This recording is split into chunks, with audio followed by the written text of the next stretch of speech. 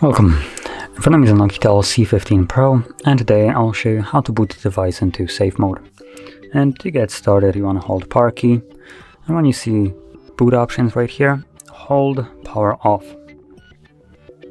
This in turn will bring up this window right here, reboot to safe mode. So let's confirm it by tapping on OK. And waiting for the device to boot back up. Now once it does boot back up, it will be in the desired mode. And if you have never used safe mode before, I will warn you that disables all third-party applications that you have installed.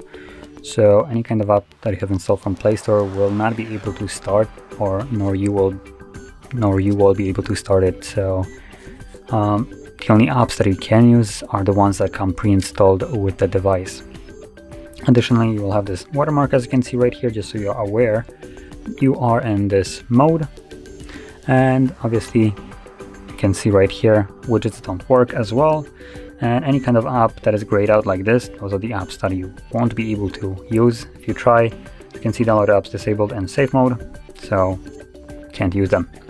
Uh, and any kind, kind of app that was with the device that basically comes with the device pre-installed. Will be able to run. As you can see chrome runs contacts and so on.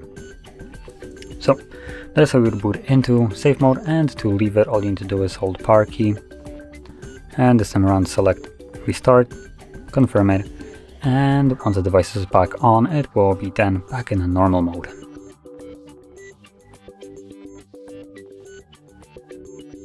And as you can see, it's now back in a normal mode.